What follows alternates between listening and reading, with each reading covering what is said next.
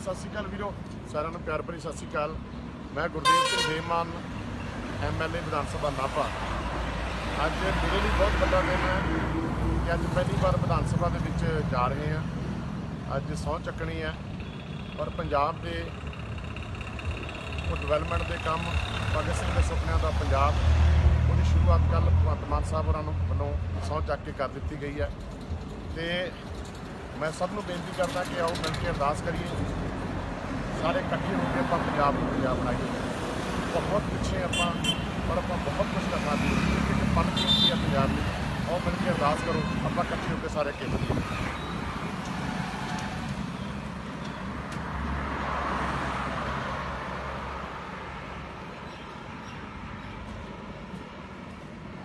Sukhdev Singh Mann